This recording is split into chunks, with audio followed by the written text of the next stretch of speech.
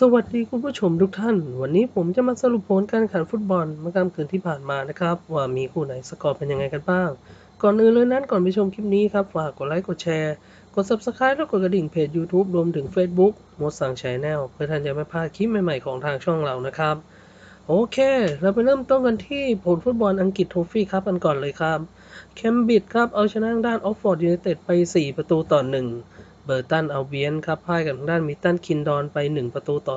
2 เชฟฯ เวนส์เดย์เอาชนะทางด้านนิวคาสเซิลเยาวชนไป 3 ประตูต่อ 0บริสตอลโรเวอร์สเอาชนะทางด้านเชลท์นัมไป 2 ประตูต่อ 0 แบดฟอร์ดครับพ่ายกับทางด้านลินคอล์นไป 0 ประตูต่อ 3 ชาร์ลตันครับถล่มเอาชนะทางด้านครอว์ลีย์ทาวน์ไป 6 ประตูต่อ 1 รอชเดลครับเอาชนะทางด้านลิเวอร์พูลเยาวชนไป 4 ประตูต่อ 0 โอลดัมครับ เอาชนะซัลฟอร์ดไป 1 ประตูต่อ 0 โบลตันเอาชนะทางด้านพอร์ตเวลไป 3 ประตูต่อ 2 นิวพอร์ตเคานตี้ครับ เอาชนะทางด้านพลีมัธไป 2 ประตูต่อ 0 ชรูว์สบิวรี่พ่ายกับทางด้านครูอเล็กซานดราไป 0 ประตูต่อ 1 ฟอเรสต์กรีนครับ เสมอใน 90 นาทีกับทางด้านนอร์แธมป์ตันไป 1 ประตูต่อ 1 ต้องตัดสินด้วยการดวลลูกที่จุดโทษนะครับ ซึ่งทางด้านนอร์แธมป์ตันนั้นยิงได้แม่นกว่า เอาชนะไปได้ 4 ประตูต่อ 2 วีคอมพ่ายกับทางด้านแอสตันวิลล่าเยาวชนไป 1 ประตูต่อ 3 วีแกนครับเสมอใน 90 นาทีกับทางด้านวูล์ฟแฮมป์ตันเยาวชนไป 0 ประตูต่อ 0 ต้องตัดสินด้วยการดวลลูกที่จุดโทษนะครับ ซึ่งทางด้านวูล์ฟเยาวชนนั้นยิงได้แม่นกว่าเอาชนะไปได้ 4 ประตูต่อ 2 คาร์ไลล์ครับเสมอใน 90 นาทีกับฮาร์ทลี่พูลไป 3 ประตูต่อ 3 ต้องต่อเวลาเอ่อต้องตัดสินด้วยการดวลลูกที่จุดโทษนะครับ ซึ่งทางด้านคาร์ไลล์นั้นยิงได้แม่นกว่าเอาชนะฮาร์ทลี่พูลไป 4 ประตูต่อ 3 สตีฟเนจครับพ่ายกับทางด้านท็อตแนมฮอตสเปอร์เยาวชนไป 3 ประตูต่อ 4 ซัตตันยูไนเต็ดเอาชนะด้านคริสตัลพาเลซเยาวชนไป 3 ประตูต่อ 0 ส่วนคู่ระหว่างซันเดอร์แลนด์กับแมนเชสเตอร์ยูไนเต็ดเยาวชนคู่นี้เลื่อนการแข่งขันนะครับ ฮาร์โรเกตทาวน์เอาชนะด้านแมนส์ฟิลด์ไป 3 ประตูต่อ1ฟลีตวูดทาวน์ครับเอาชนะด้านเลสเตอร์เยาวชนไป 4 ประตูต่อ1และแอคคริงตันครับเสมอใน 90 นาทีกับทางด้านบาร์โรว์ไป 2 ประตูต่อ 2 ต้องตัดสินด้วยการดวลลูกที่จุดโทษนะครับ ซึ่งทางด้านของ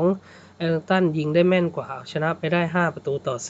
4 มาดูในส่วนของผลฟุตบอลไวเคาส์ลีกาของฟินแลนด์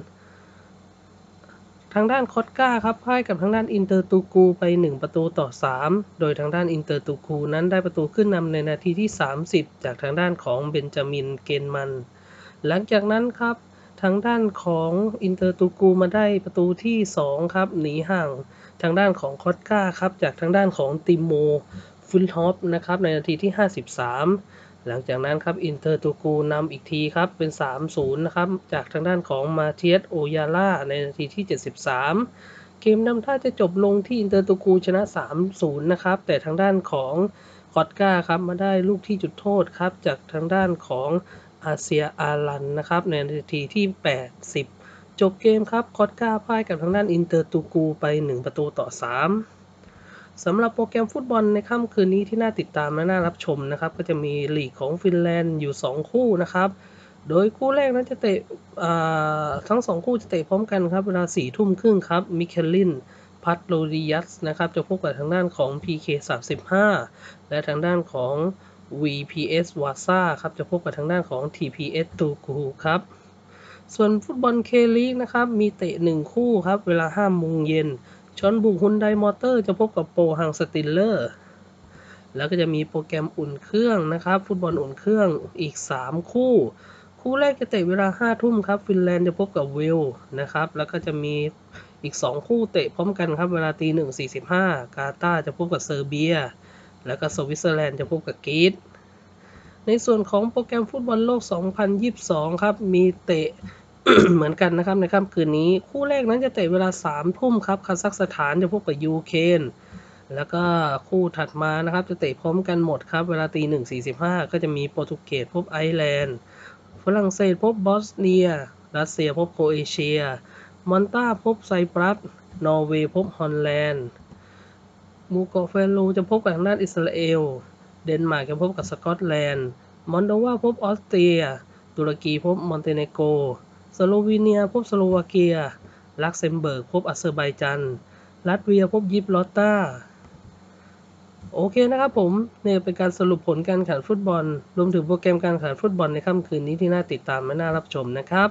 ยังไงถ้าใครชอบคลิปนี้ก็ฝากกดไลค์กดแชร์ กด Subscribe และกดกระดิ่งเพจ YouTube รวมถึง Facebook หมดสั่ง Channel เพื่อท่านจะไม่พลาดคลิปใหม่ๆของทางช่องเราสำหรับวันนี้ผมต้องขอตัวลาไปก่อน แล้วพบกันใหม่ในคลิปหน้าสำหรับวันนี้ สวัสดีครับ